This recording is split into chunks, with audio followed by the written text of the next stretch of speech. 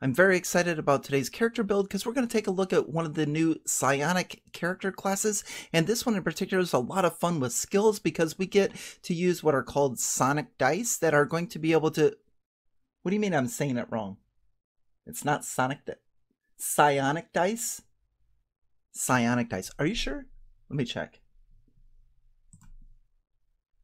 Psionic. Well, crap. My apologies. Up until about the 42 minute mark of this video, I'm going to be pronouncing that incorrectly. But hope you still enjoy the video and let's get started. Hello there adventurers and welcome to Wally DM. Today we're going to do a character build on a Soul Knife Rogue. Now for those of you that are familiar with my character builds, I do not build on optimization but more on themes. And today's theme is going to be to utilize our abilities of the Soul Knife Rogue with in particular our dice that help with our skill checks and our skill abilities. And so we're going to build a thematic character around skills. Now I do know that you can build a character class or a character type called called a skill monkey. That involves a lot of multi-classing. Now at the end of the video, I'll throw out a few multi-class options if I were to decide to take that route. But today we're going to stick with a straight build of a Soul Knife Rogue. We're going to start at level 1 and we're going to advance this character all the way up to level 12. And I'll explain everything that I pick along the way. So let's get started. This is going to be Kaya von Borg and she is going to be my half-elf Soul Knife Rogue. So let's begin with our level 1 Rogue.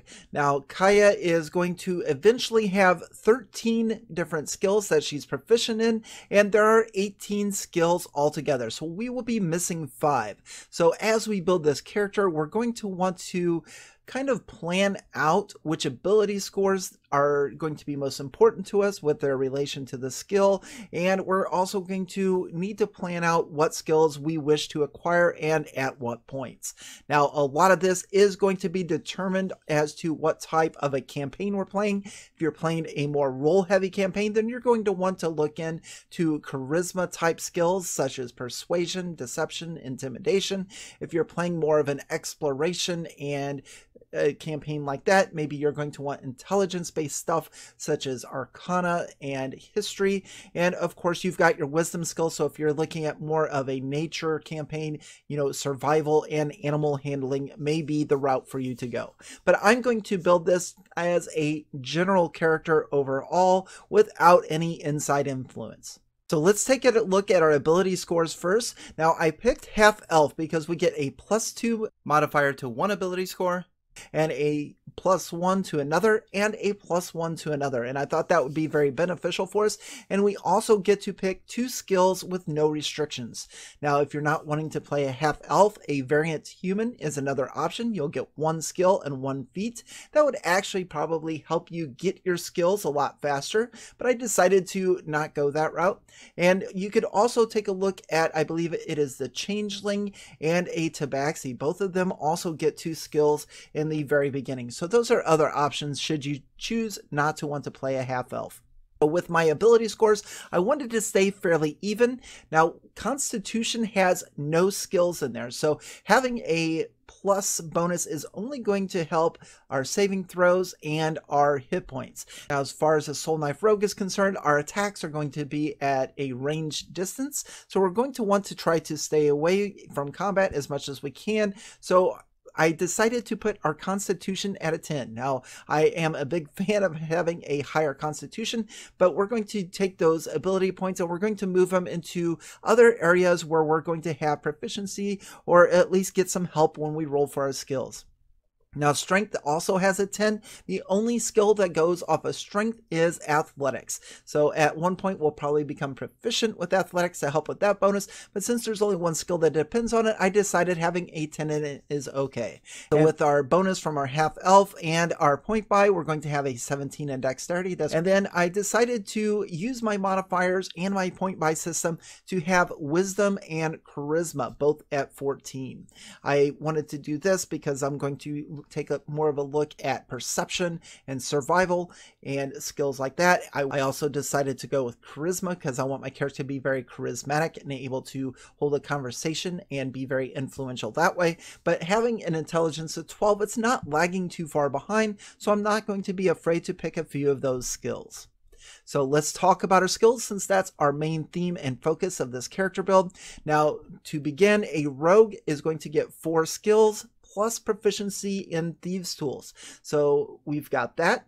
We get two skills from our half elf and we get two skills from our background. So that's a total of eight different skills that we're going to be proficient in at first level. And the result of that is going to be an acrobatics, deception, insight, investigation, perception, persuasion, sleight of hand, and stealth. One of these skills that I can tell you already that I won't be including as far as proficiency is going to be intimidation. The way that I look at intimidation and persuasion is I look at that as two different ways to role play my character. I want to be more of a smooth talker, more of a um, nicer person that uses charm and conversation to be able to get places. Now, I could play this character total opposite, be a little bit more mean and intimidating and things like that. And then I would have picked intimidation. But I don't feel that we need both persuasion and intimidation. There are instances where one would probably be better than the other, but I think for the most part, these two skills are going to be depending on the personality of your character and how you depend on and how you intend on playing them. So I'm going the sweeter, nicer, more conversational route with persuasion. Now let's take a quick gander at our armor class. We would start with a leather armor, but I took into account that I would probably have enough gold at first level, maybe from selling a few of my weapons or what have you, or manipulating it, or just asking my dungeon master if I can have it. But I went with this studded leather that is going to give us one more bonus of an armor class, and with our dexterity modifier being a plus three, that's going to give us a 15. Now we're only going to be able to get this up to 16, and we will do that at level four, but we'll talk about that more at that level It's the multi-classing things if you want a skill monkey that you'll be able to get a better armor class in. But honestly, a 15 or a 16 for a rogue that is going to be concentrating on ranged attacks and staying away from folks and staying out of melee combat isn't too bad. I, I think it'll be just fine.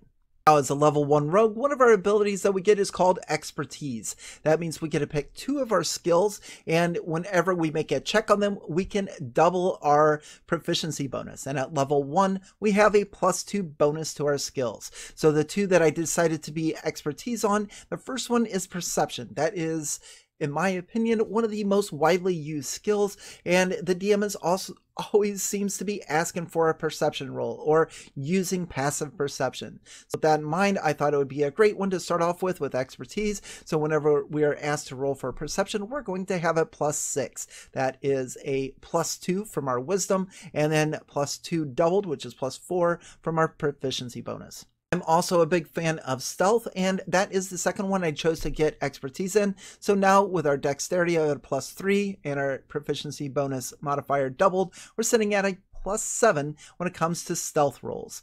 Now, do keep in mind that I foregoed my opportunity to have expertise in my thieves tools. So I am proficient in thieves tools, but I chose not to have expertise as I want to concentrate on my skills. And this isn't going to be a classic thief or rogue where we're going to be dependent on as far as picking locks and stuff. I mean, we will still have that ability to do so, but we're not going to be super duper fantastic with the expertise. Now, as far as the other things are concerned, we get Thieves' Cant at level 1, which means we can use signs and signals to communicate with others that know that type of code language.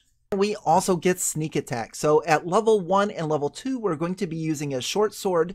And then at level 3, we're going to ditch all of our weapons. And I'll explain to that when we get there. So with our short sword, we have attack options of a plus 5 to hit because we're using this with our dexterity. And we're going to do a d6 plus 3 of piercing damage.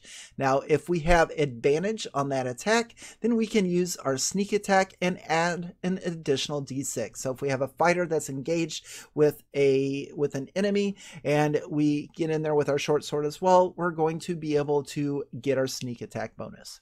So that is going to do it for level 1. Let's advance to level 2 and see what's next in store for our half-elf rogue. So here we are. Kaya is now a level 2 character. She only has 13 hit points. And again, some of that's going to be because of our low constitution score. We're not getting an additional bonus to that. Now at level 2, a rogue only gets one ability, and that ability is called Cunning Action. So Cunning Action reads, starting at second level, your quick thinking and agility allow you to move and act quickly. You can take a bonus action on each of your turns in combat. This action can be used only to take the dash, disengage, or hide action. So if we are in melee combat with a foe and we want to get out of there because we're low on hit points, then we can use our bonus action to get out of there by disengaging and put a little bit of distance between us. And honestly, that is all that I have for you for level 2. Nothing else really changes, so let's see what happens when we get our Soul Knife Rogue abilities at level 3. So Kaya is now a level 3 rogue and we get to pick our archetype which is going to be the Soul Knife. This is a psychic type of a character. They're going to be able to use their mind in order to better have better performance with their skills and abilities and things like that. And they're also going to be able to manifest weapons in their hands. Now these are going to be like psychic blades that we can throw for damage. So let's take a look at that first because it's very, very interesting and it's one of my favorite features of the class. Here on D&D Beyond, we can click on our class features and we are going to take a look at our Psychic Blades. So our Psychic Blades read as follows. You can manifest your sonic power as shimmering blades of psychic energy. Whenever you take the attack action, you can manifest a blade from your free hand and make the attack with the blade. The Magic Blade is a simple melee weapon with the finesse and thrown properties. It has a normal range of 60 feet and no long range. And, and on a hit, it deals psychic psychic damage equal to a d6 plus the ability modifier used for the attack roll. Now the blade vanishes immediately after it hits or misses and its target and it leaves no mark on its target if it deals damage. Now when we attack with the blade we can make a melee or range weapon attack with a second psychic blade as a bonus action on the same turn. So we can have our attack action which is our main psychic blade but then we can bonus action with our other hand and throw a second Sonic Blade. Now here on D&D Beyond, it has this broken down for us nicely. We have our Psychic Blades. It is going to be based on Dexterity.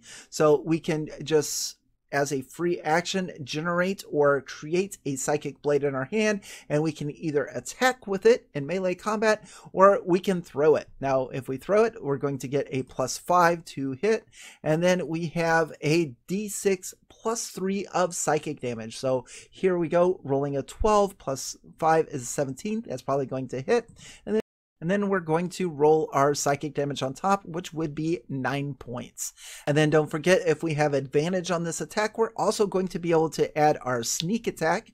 And I believe our sneak attack goes up to 2d6. So we would cause 9 points of psychic. And then we would also get to roll our sneak attack damage if we had advantage for an additional 4 points. So these are my psychic blades. Now, as I'm going to roleplay this character with Kaya, I'm dumping all of my weapons. I'm going to make her a charismatic character that is going to engage in a lot of conversation, but she is not going to have any weapons on her. She's not going to, not even a dagger. And she's just going to mainly rely on being able to generate her psychic blades when it comes time for combat. And I would probably use that to be able to manipulate going into places where we're like conversating or trying to work out a truce or something like that, being able to go in unarmed but still have that ability to generate my blades is going to be really cool. Now that is our attack option with our sonic powers, but we also get two more abilities. Let's take a look at Psychic Whispers. You harbor a wellspring of sonic energy within yourself. The energy is represented by your sonic energy dice, which are a d6. You have a number of these dice equal to twice your proficiency bonus, and they fuel various sonic powers you have, which are detailed below. What this is basically saying is we have Sonic Dice, and being at third level, we have a proficiency bonus of plus two. So we have four of these D6 dice. Now, as we progress in levels, of course, our proficiency bonus is going to go up, so we'll get more of those Sonic Dice, but we'll also be able to elevate our dice. So at fifth level, those are going to be D8s. At 11th levels, D10s, and at 17th levels, those are D12s. So they level with us, which is really cool. Now, our main focus of using these sonic dice is going to be our psi bolstered knack, which reads when your non sonic training fails you, your sonic power can help if you fail an ability check using a skill or tool with which you are have proficiency. You can roll one sonic energy die and add the number rolled to your check, potentially turning failure into success. Now, the good thing about this is you expend that die only if the roll succeeds. So let's take a look at to how these work. So let's take acrobatics for instance. Perhaps we're trying to jump from rock to rock in some type of water or pool. And we roll a 7 and we have acrobatics of plus 5, so that's going to be a 12. And the DM says, nope, sorry, you don't make it and you fall into water. But like, well, wait a minute. I would like to expend one of my sonic dice to give it a try. And if we roll, let's say a 5, making it a 17, then the DM will probably tell us if it was a DC 15 that we succeed on the roll. But now let's say we roll a 1. So instead of being a 17, we roll 12 plus 1 is a 13. And the DM says, no, I'm sorry, you still fail. Now on that failure, we still get to keep our sonic die so we can use it again on a future skill check. But now if we did make it with the 17, then that will expend our sonic die as a result of the success of the skill check. Now you can kind of see with this ability why I want to build a character that is based on skills. I want her to have all of the skills that she can, and I want her as a Soul Knife Rogue just to be able to succeed and very rarely fail. We also get psychic communication or powers to be able to telepathically speak with others. This is going to be called Psychic Whispers, and we can use this as an action and choose up to two creatures we can see. This is based on our proficiency bonus, which right now is a plus two. So at this level, two creatures we can see, and then roll one sonic energy die, which is a d6. For a number of hours equal to the number rolled, the chosen creature can speak telepathically with you and you can speak telepathically with them as long as you are with when as long as you are within one mile you and the creatures don't need to speak a common language to understand each other. Now we can actually use our psychic whispers once per day without expending a sonic energy die. As seen here on D&D Beyond, we're going to get one use per long rest. Now after that we can use it again, but then we'll have to expend that sonic energy die when we roll to see how many hours this is vital for.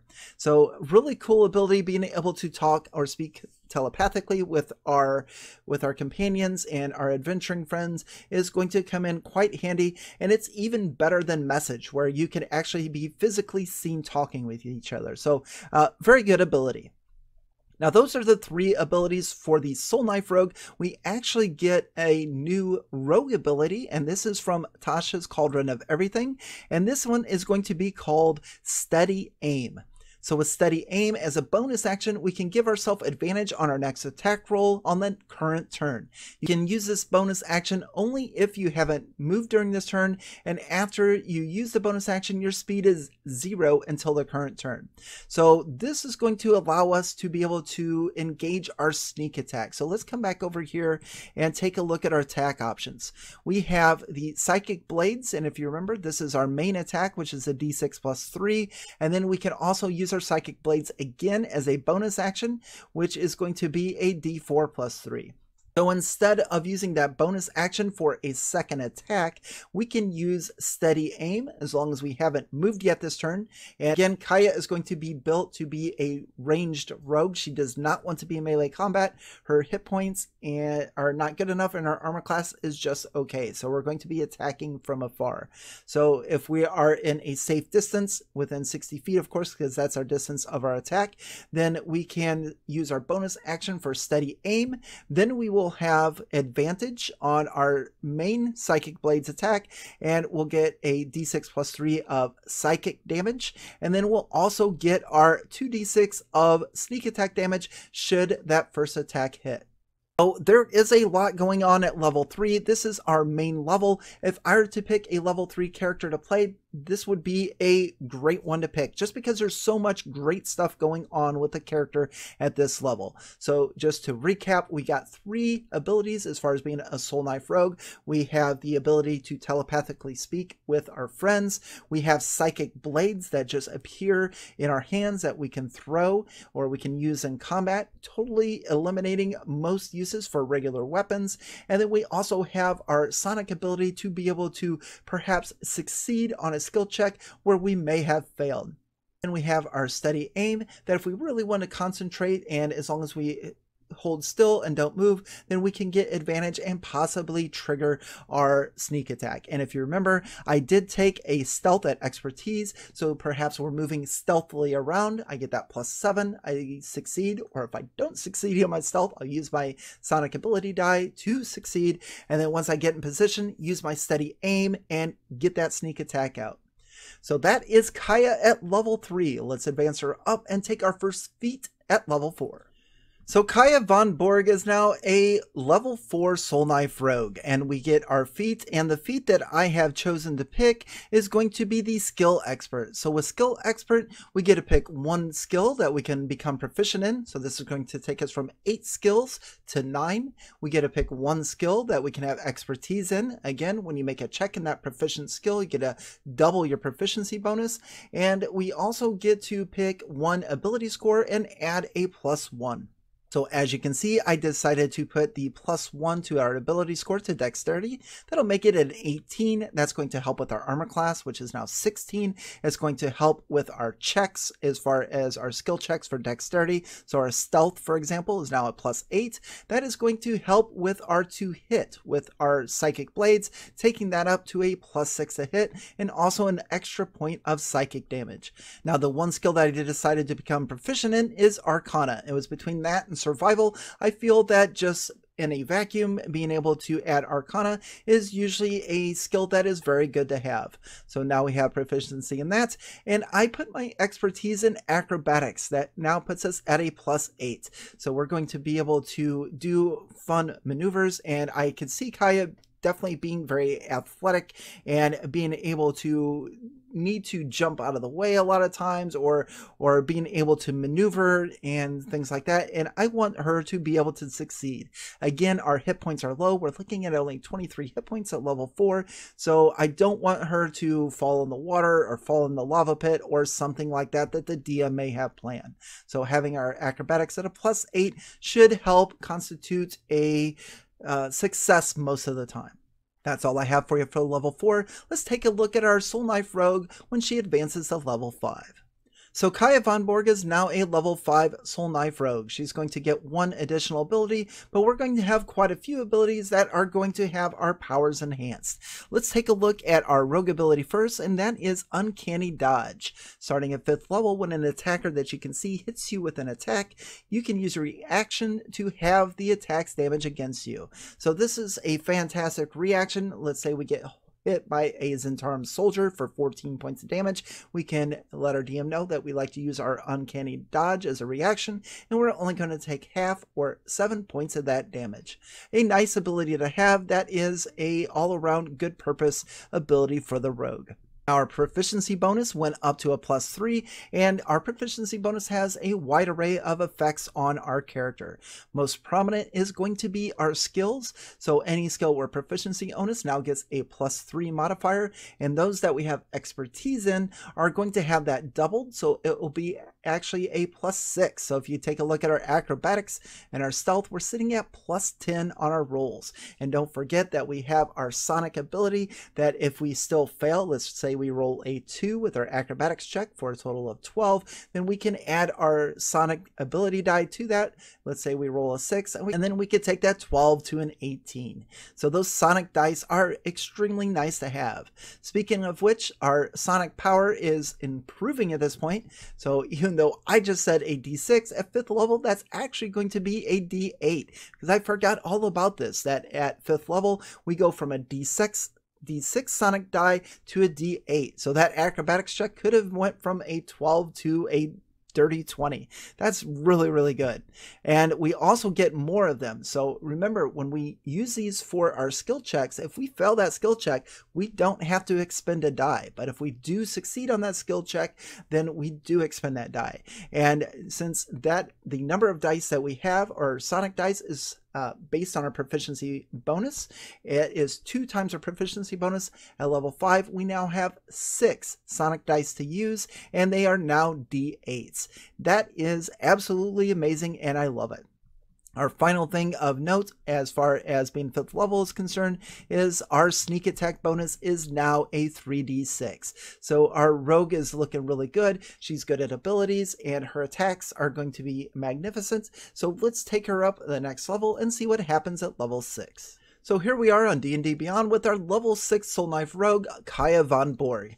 Now the only ability we get at this level is another dose of expertise. And again, that is going to give two of our skills a double proficiency bonus.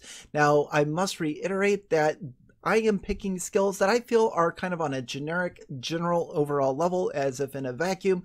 They are probably more of my favorite skills or ones that I see occur more in games. And so that is what I'm selecting for this video.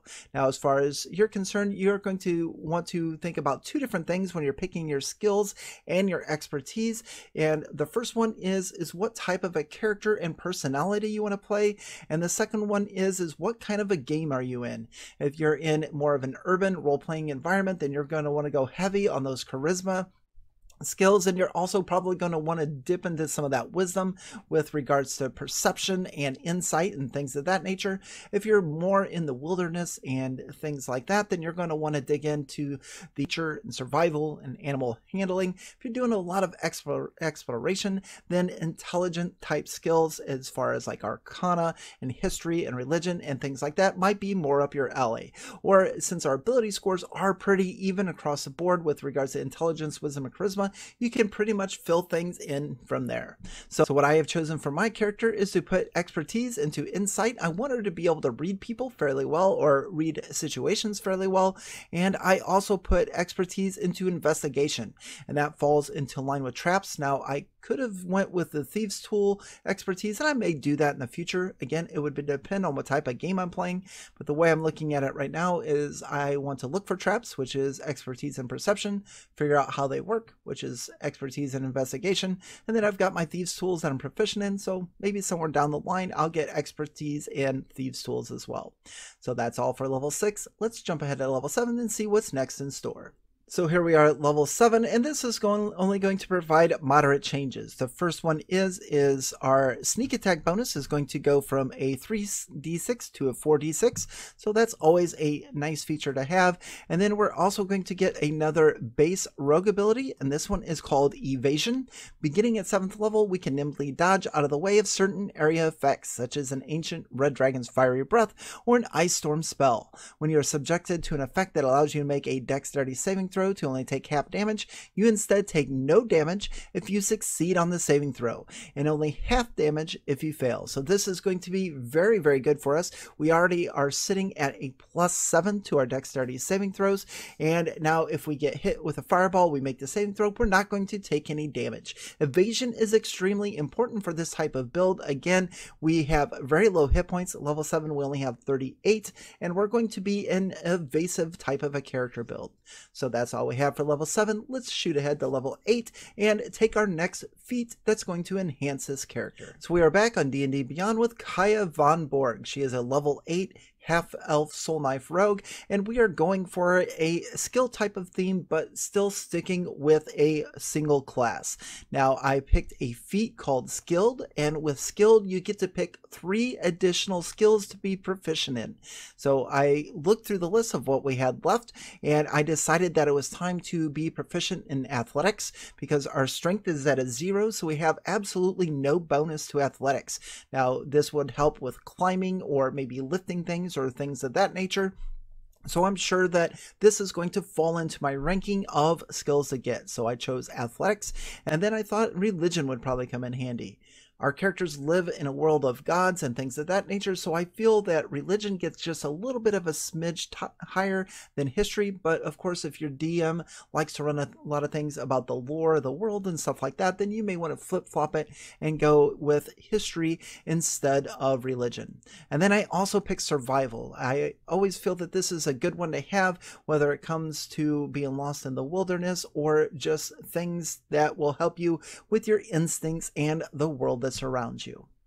Now, that is going to give us 12 of the 13 skills that we'll eventually get, but we have a little bit ways off before we get our next one. So let's go to level 9 and see what happens next with our Soul Knife Rogue abilities. So we're back, and this time we're at level 9, and a lot of our abilities are going to level up for us. And we're also going to get some of our Rogue Archetype abilities. So a lot of good things happening for us here.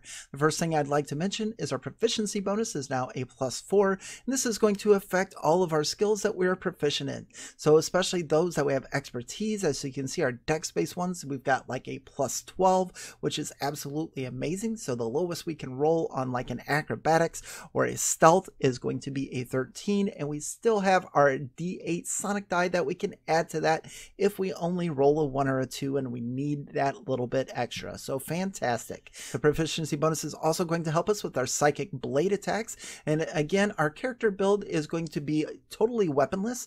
Uh, she is going to be able to generate these psychic blades that she can throw the main one with an action, a secondary one with a bonus action, or we can use our steady aim feature and get advantage with the main one and then possibly add our sneak attack if we hit.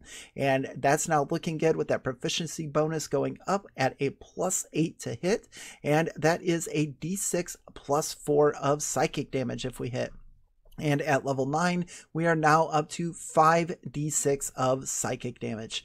Or, I'm sorry, 5d6 of sneak attack. So it looks really good for us to not take that movement, position ourselves really well, whether we use that plus 12 to stealth, but get ourselves in a position where we can wield and throw one of our psychic blades with advantage hit for the psychic plus add the sneak attack. That is fantastic. Now with regards to our class, we're going to get a level 9 ability as part of being a Soul Knife Rogue, and this one's called Soul Blades. Your psychic blades are now an expression of your psi suffused soul, giving you these powers that use your psionic energy dice. We get two abilities. The first one is homing strikes. If you make an attack roll with your psychic blades and you miss the target, you can roll one psionic energy die die and add the number rolled to the attack roll. If this causes the attack to hit, you expend the psionic energy die. Now, again, we have psionic energy die, which are one of the key features to this class we get a number of them per long rest equal to two times our proficiency bonus. So here at level 9, we get eight uses of those, and those are going to be d8s at this level. Now, with homing strikes, it's going to be very similar to our skill abilities. If we miss, we don't expend that. So there's very little to worry about if we use a psionic dice and it fails. We we don't lose it, which is an amazing option and it really puts a mind to rest. It's unlike where a spell, where let's say you try to cast Charm Person, you're expending that spell slot and it may or may not work. It, you may have I don't want to say wasted it, but it is just going to be gone. Whereas opposed to our skill checks, and now with homing strikes, we can use that psionic die, and if we still fail, then we don't lose it. Fantastic. The next ability with our Soul Blades is Psychic Teleportation. As a bonus action, you manifest one of your Psychic Blades, expending one Psionic Energy die and roll it.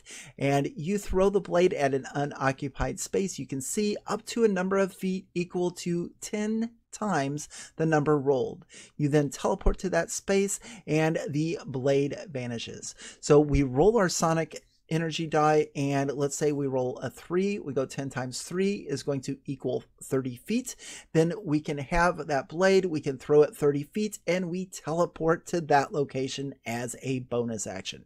For those of you that are familiar with my character builds one of my all-time favorite spells is misty step and this is basically misty step for this character and it is absolutely awesome. So we use psychic teleportation by we generate a one of our blades in our hand and as a bonus action, we roll that die, multiply it by, by 10, we throw that out there, and that's how many feet away we can teleport. Fantastic abilities.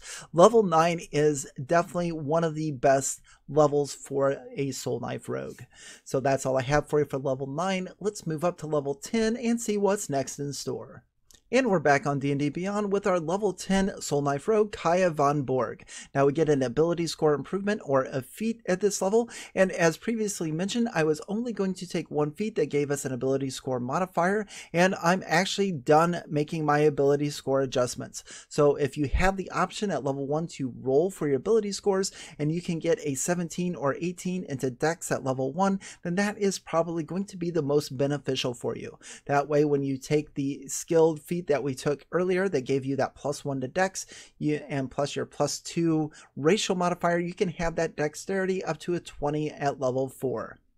But the way things are, I'm fine with the 18. I again, I want to focus more on my theme. Now we do have one more feat left that will help us get that 13th skill and even expertise in a skill of our choosing, but we're going to put that off until level 12. And instead, I decided to choose the lucky feat at level 10. Now, lucky feat, for those of you that don't know, you get three luck points. Whenever you make an attack roll, an ability check, or a saving throw, you can spend one luck point to roll an additional d20. You can choose to spend one of your luck points after you roll the die, but before the outcome is determined, you choose which of the d20s is used for the attack roll, ability check, or the saving throw. It's also mentioned that you can use that for an attack made against you, which could also become very beneficial. If a monster scores a crit hit against you, then you can expend a lucky feat and make that monster re-roll their attack roll or the, their d20. But uh, one of our main purposes is on some of these ability checks that we need to make. Let's take an athletics for some for instance, we only have a plus four to athletics. So let's say we roll a three, three plus four is seven. Even if we use one of our, our psionic dice, say a d8, and we roll three, we're going to have a 10. So instead, of expending that psionic die right away, we can use the lucky feat and re-roll the skill check from the base, from the d20. So I think the lucky feat goes very well with a skill focused character, and I think level 10 is a great opportunity to pick it up. And one of my other favorite abilities is coming up at level 11, so let's skip right up to our next level and take a look to see what's going on. So Kaya is now a level 11 half elf rogue. Now again, she only has 58 hit points, so she's going to need to be very careful, especially in combat heavy environments. Now, one of the class abilities that we get as a level 11 rogue, and this is just for the base rogue feature is reliable talent. By 11th level, you have refined your chosen skills until they approach perfection. Whenever you make an ability check that lets you add your proficiency bonus, you can treat a d20 roll of 9 or lower as a 10. So for all of the skills, and we have 12 of them at this point, that we are proficient in, we cannot roll lower than a 10. So if we roll a 4 on our athletics check, that is going to be a 10. And then we can still roll our psionic die on top of that using our psionic power. So we get that extra d8. And we've still got the lucky feat too. So if we want to re-roll or use a luck point on that original d20 roll, we can do that. So reliable talent is going to make sure that all of the skills that we are proficient in, and that's 12 of them, there's going to be very little chance that we are going to fail. And if we fail, or if we need to get it just a little bit higher, we've got those psionic dice that are going to help us get there. And what's great about level 11 is we are actually going to now be able to roll a d10 for our psionic dice. So we have eight chances with those, and now they're a, a d10 coming up from a D8 on the previous levels. So that is fantastic. Look at all these skills. We're probably not going to fail them. Very rarely are we going to fail. And if we roll that natural one, then we use that lucky feat to re-roll it. And this is just absolutely fantastic. I am super excited about this. And of course, our main attack is our Psychic Blades, and I'm really going to enjoy using that steady aim with them so I can make sure I get that sneak attack bonus. And our sneak attack at level 11 goes up to 6d6. So we can still hold our own in the ranged combat using our Psychic Blades. And then we've got our skills, and the character is very well rounded and should be a lot of fun to play. Now we're going to do one more level, so let's do level 12, and then we'll take a look at a few of the abilities and discuss multi-classing before we call it a wrap. So here we are, Kaya is now a level 12 rogue, and we are going to take another feat because we get to choose between an ability score improvement or a feat, and I have chosen the Prodigy feat. Now if you're not familiar with that, it is only available to humans, half orcs, or half elves. And with that, we're going to learn an additional language, we're going to learn an additional skill, we're going to be able to pick expertise in a skill, and we're also going to be able to pick another tool. And I did forget to mention that during the build that we do have quite an array of different tools going on. We have a dice set, so we can be a little bit of a gambler. If you wanted to focus more on a gambler like that, you could put expertise into sleight of hand if you wanted to be a cheater. Um, insight will work really well with like a dice set or a playing card set or something like that where you can read your opponents. And I did just that with that extra tool set. I picked playing cards. So Kaya is going to be really good at dice and playing cards. And then she also has the forgery kit from her background and thieves tool. So you can get quite a few different tools. Uh, we've got four different ones here at level 12. So that is uh, really nice. And you add your proficiency bonus to those when you move on. Now, I did pick another skill, and the last skill that I picked nature and it was just kind of eh, whatever at the at this point because I don't know what's going on in the campaign or the one shot or whatever it is that I'm running this character. Expertise, I bumped up persuasion again just as a role playing mechanic and making her just this nice person that is very persuasive and easy to conversate with. So the skills that I didn't pick are animal handling, history, intimidation, medicine, and performance. But you could honestly make a case for any of those. And once again, and finally, it is going to be dependent on the type of game that you are included in. That is as high as I'm going to level Kaya today. Let's take a look at a few of the Soul Knife abilities though to continue finishing out this video. So our Soul Knife Rogue is going to have two more levels where they're going to get abilities that are unique to them. At 13th level, we would get Psychic Veil. You could weave a veil of Psychic Static to mask yourself. As an action, you can magically become invisible along with anything that you are wearing or carrying for one hour or until you dismiss the effect. This invisibility ends early immediately after you deal damage to a creature or you force a creature to make a saving throw. Once you use this feature, you can't do so again until you finish a long rest or unless you expend a psionic energy die to use this feature again. Invisibility is another one of my favorite spells, probably top 10. And especially with a rogue and with the bonus to stealth that we have, we could turn invisible using our psychic veil. We could move in position, moving quietly with our stealth, and be able to get our advantage on an attack, maybe even surprise, and get that sneak attack bonus damage. So Psychic Veil is definitely going to be fun, and the fact that we can use again by spending our psionic energy die is absolutely awesome. And then at 17th level, Rend Mind. You can sweep your psychic blades directly through a creature's mind. When you use your psychic blades to deal sneak attack damage to a creature, you can force that target to make a wisdom saving throw, and if the save fails, the target is stunned for one minute. The stunned target can repeat the saving throw at the end of each of its, each of its turns, ending the effect on itself on its success. Once we use it, we can't use it again until we finish a long rest, or we expend three psionic energy dice to use it again. Another neat little ability, I, I like this. It's probably not one I would use very often. Our DC for whatever creature is going to be a DC 18 at this point in this level, a DC 19 if you get your dexterity up to 20. But it's it's neat. I could see some effects for it, but definitely probably not my favorite ability of the Soul Knife Rogue. But at 17th level, it's probably rare that I would ever make it up that high, so I would never have to worry about using it. But it's it's nice to have it there. So let's discuss multi multi-classing. Now, the classes you're going to want to multi-class into if you want to get all of the skills, be proficient in all of them, all 18, is going to be Bard and Cleric. And you will need a Charisma 13 and a Wisdom 13 in order to do so. And the way that we built this character, you should have no problem with that whatsoever. Now, you will need to multi-class at some point into knowledge cleric and again that's going to be dependent on the game that you're playing.